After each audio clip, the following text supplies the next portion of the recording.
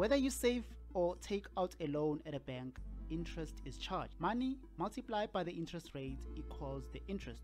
To know the lifespan of an investment or loan, multiply the interest by time period. This is a standard formula of a simple interest. As for compound interest, includes the principal plus the product of principal and the rate. The standard formula of a compound interest is this one here.